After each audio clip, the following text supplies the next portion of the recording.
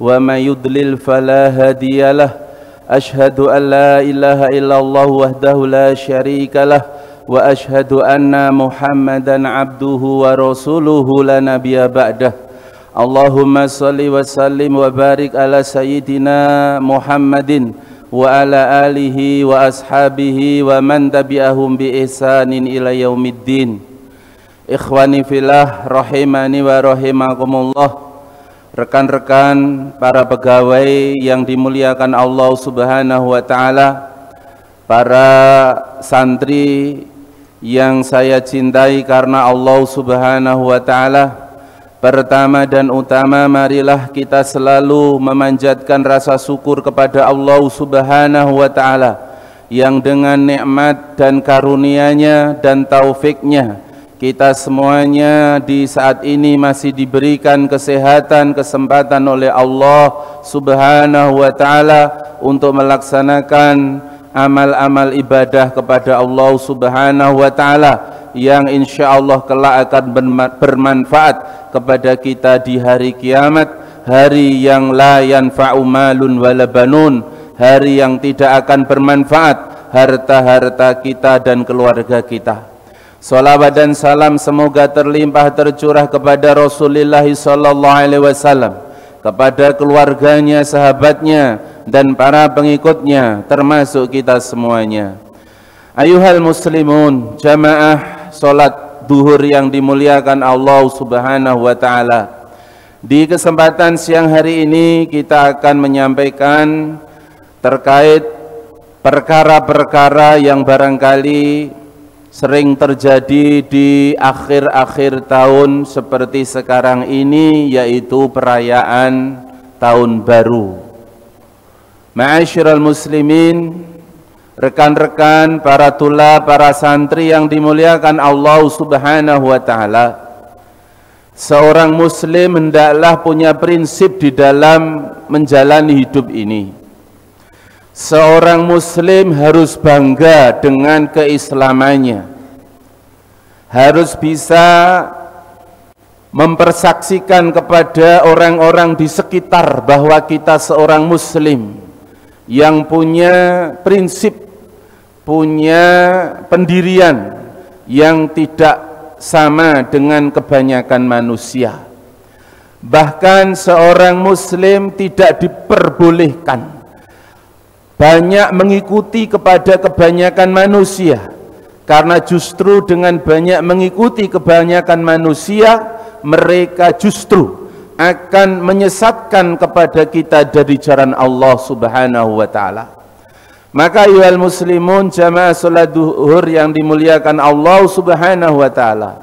Ada 10 alasan mengapa kita tidak merayakan perayaan tahun baru Masehi seperti yang sering kita lihat, sering kita saksikan di daerah-daerah kita. Yang pertama, bahwasanya perayaan tahun baru seperti yang sering kita saksikan ini adalah perayaan yang tidak pernah dilakukan oleh para ulama-ulama kita, oleh orang-orang soleh di zaman-zaman Rasulullah sampai bahkan zaman sekarang ini. Bahkan Rasulullah sallallahu alaihi wasallam tatkala beliau hijrah di Madinah dan mendapati penduduk Madinah merayakan perayaan yang diwarisi dari orang-orang Persia. Perayaan Nairus dan Mihrojan, Rasulullah mengganti perayaan yang ada di saat itu dengan perayaan Idul Adha dan Idul Fitri. Rasulullah tidak meneruskan. Rasulullah SAW tidak melanjutkan perayaan yang sudah ada di negeri Madinah yang dilakukan oleh masyarakat Madinah diganti dengan perayaan Idul Fitri dan Idul Adha menunjukkan apa? bahwa perayaan yang tidak bersumber dari agama kita haram hukumnya kita merayakannya nomor dua bahwasanya mengapa kita tidak merayakan perayaan tahun baru karena merayakan perayaan Tarun Bauru Masehi adalah bentuk tasyabbuh bi ghairil muslimin. Bentuk kita mengikuti menyerupai kepada orang-orang ghairul muslimin. Sebagaimana hal ini juga telah diprediksi oleh Rasulullah sallallahu alaihi wasallam bahwa kelak kelak di akhir zaman kebanyakan kaum muslimin la tatabi'anna sunana man kana qablakum shibran bi shibrin dhira'an bi dhira'in hatta law dakhalu juhra dhabbin la dakhaltumuha. Kata Rasulullah sallallahu alaihi wasallam patut menjadi perhatian bagi kita semuanya bahwa kelak kelak akan terjadi bahwa kaum muslimin ini kalian kaum muslimin ini akan mengikuti cara metode kehidupan orang-orang yang selain dari kita. Sedikit demi sedikit sejengkal demi sejengkal sehasta demi sehasta sehingga kalaupun orang-orang khairul muslimin itu masuk ke lubang biawak mengapa dikatakan lubang biawak? Kok bukan lubang tikus? Bukan lubang ular? Kenapa? Siapa tahu kenapa?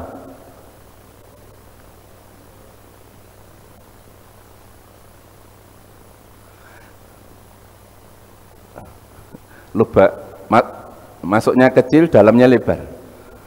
Ya, ya. Begini kenapa Rasulullah mengatakan kita akan mengikuti orang-orang ghairul muslimin sekalipun ibaratkan mereka masuk ke lubang biawak maksudnya lubang biawak itu diterangkan oleh para ahli tidak masuk ke dalam lubang itu kecuali biawak itu sendiri sehingga menjadi kekhususan betul-betul hanya mereka yang melaksanakan. Tapi apa? Kita pun ikut-ikutan. Maksudnya sampai hal-hal yang mestinya secara akal kita tidak ikut kepada mereka, kita ikut kepada mereka. Nah, inilah. Sudah diprediksi oleh Rasulullah wasallam bahwa demikianlah ya keadaan kita kaum muslimin mayoritas. Nah, kita tidak ingin menjadi orang-orang yang seperti ini. Kemudian masyarul ikhwah, kenapa kita tidak merayakan perayaan tahun baru? karena kadang-kadang di dalam perayaan tahun baru ini banyak hal-hal ya amalan-amalan yang tidak disyariatkan justru dikerjakan oleh manusia ya jadi kadang-kadang ya membuat hal-hal yang baru dalam bentuk ibadah-ibadah di perayaan tahun baru. Yang keempat bahwasanya di dalam perayaan tahun baru ini banyak ucapan-ucapan yang tidak selayaknya diucapkan oleh kaum muslimin seperti ucapan-ucapan selamat tahun baru kepada ya orang-orang yang barangkali itu tidak disyaratkan di dalam agama kita.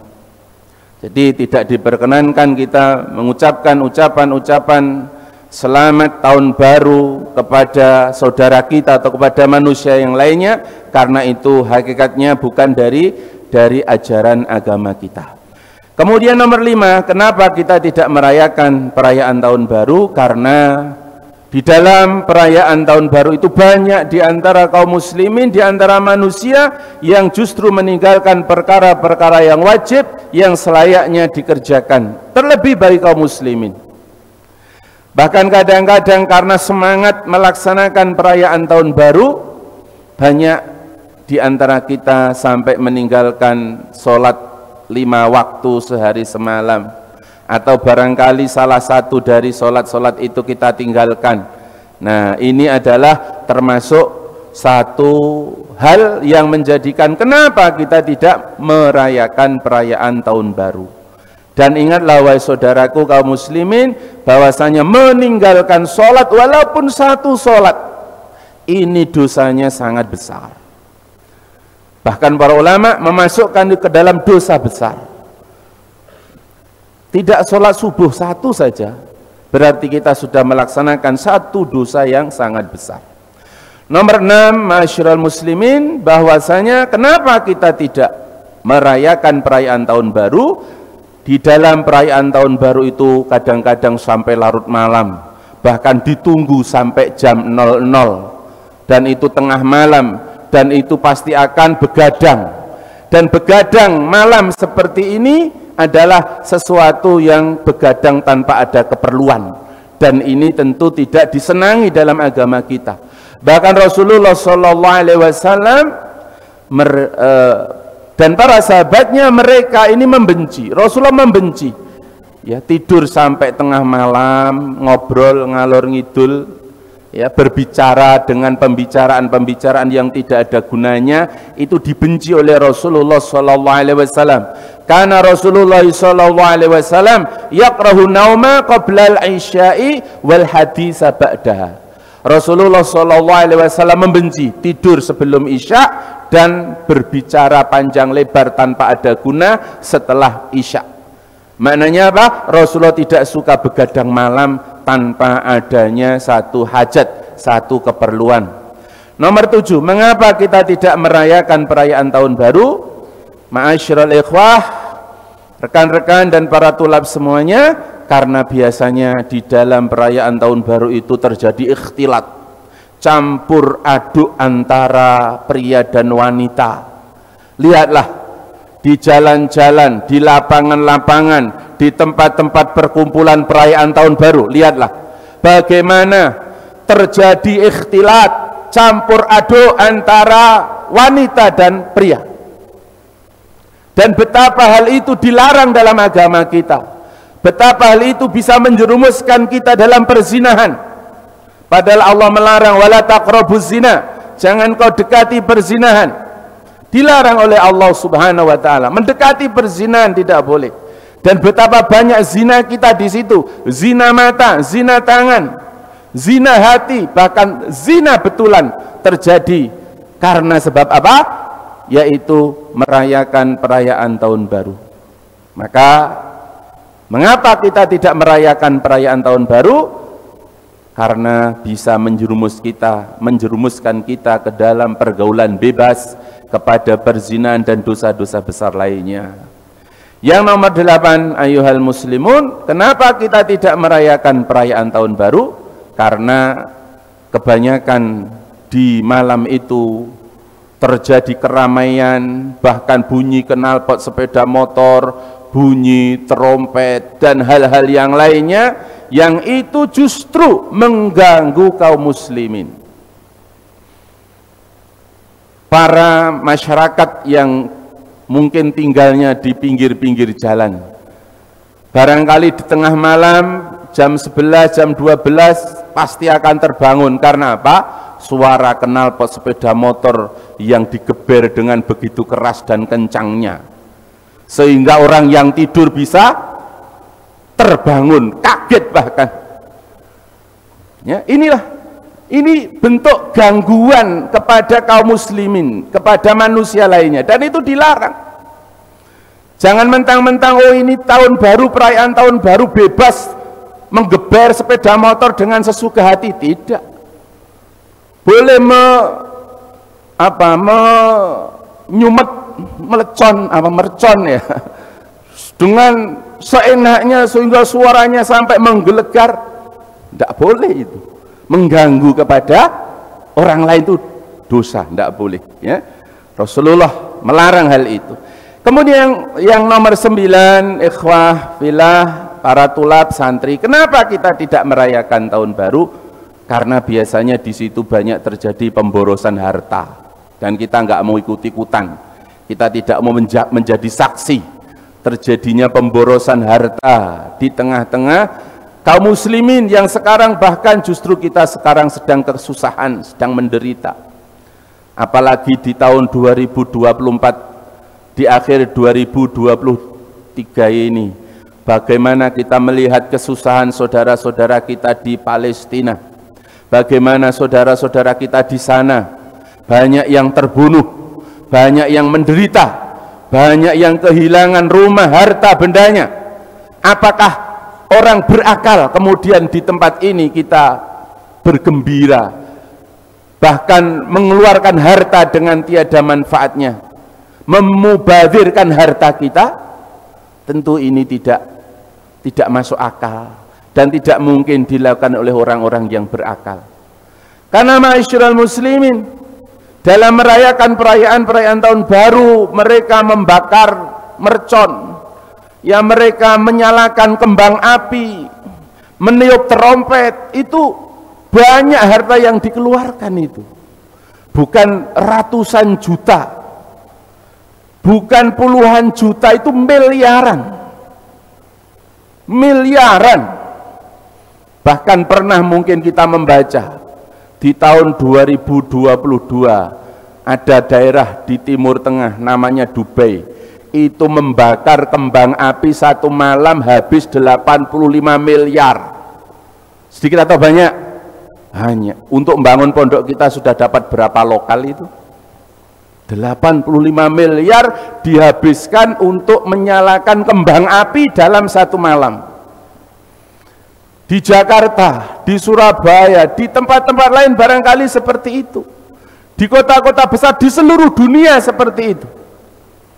Berapa miliar, berapa triliun harta yang dihabiskan untuk sesuatu yang menurut agama kita adalah tabzir, kemubadiran.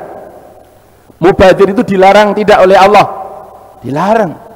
Allah mengatakan wala tubadzir tabdzira innal mubadzirina kanu ikhwana syayatin janganlah kamu berbuat mubadzir karena hal itu adalah merupakan perbuatan setan dan barang siapa yang melakukannya maka dia temannya setan.